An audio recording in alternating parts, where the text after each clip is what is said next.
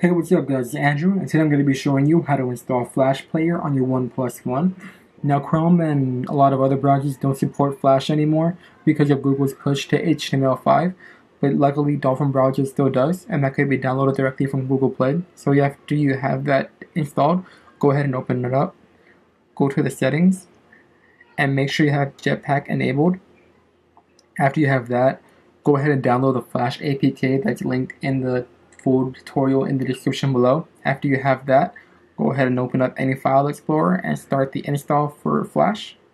Now after it's finished installing, it should work right away, but I had to restart my phone in order to get it to work with Dolphin, so you can go ahead and do that right now.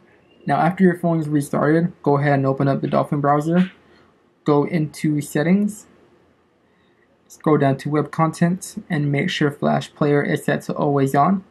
Now when you open up the Flash test page, you should see that bouncing red box, and that's how you know that Flash Player is installed correctly. Alright guys, you're all set. Be sure to check out the full tutorial link in the description below, and like always, be sure to like, comment, and subscribe. Have a good one guys.